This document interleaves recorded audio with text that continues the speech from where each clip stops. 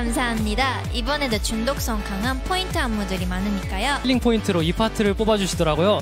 가을 씨 어딘지 한번 보여주실 수 있나요? 네, 그럼 한번 불러보겠습니다. 두 번, 세 번 피곤하게 자꾸 질문하지 마. 내 장점이 뭔지 알아. 바로 솔직한 거야. 와, 솔직 당당한 매력이 제대로 돋보이네요. 오늘